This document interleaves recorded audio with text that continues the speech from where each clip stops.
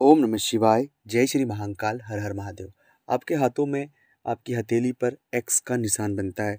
दो रेखाओं का आपस में कटना, दो रेखाओं का किसी भी विस्तार पूर्वक जगह पर एक्स का निशान दिखाई देता है। अपनी पूरी हथेली को आप साफ़ धो लें और धोने के बाद अगर आपको ऐसा लगता है कि हमारी हथेली पर एक्स का निशान बन रहा है या काला तिल है या लाल तिल है तो इन सभी चीज़ों का क्या संकेत हमारे जीवन पे पड़ता है। आपके मन में कई सारी शंकाएँ होती है, बहुत सारे जातकों की रेखाएँ आपस में बहुत कटी हुई होती है, जहाँ भी देखो वहाँ पर वो बहुत ज़्यादा कटी होती है। एक से ज़्यादा एक्स किसी के हाथों में बनता है, एक से ज़्यादा तिल होता है।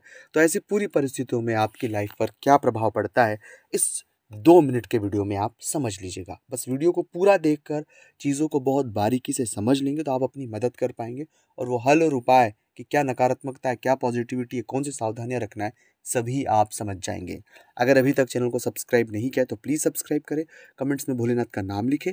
अगर आप चाहते हैं अपनी कुंडली का विश्लेषण हमसे करवाना, वर्तमान जीवन में कोई तकलीफ़, परेशानी या कोई प्रश्न जो आपको परेशान कर रहा है स्क्रीन पर हमारे नंबर चल रहे हैं, आप व्हाट्सएप पर अपॉइंटमेंट लेकर हमसे बात कर सकते हैं, उसका फ़ीस और शुल्क लागू है।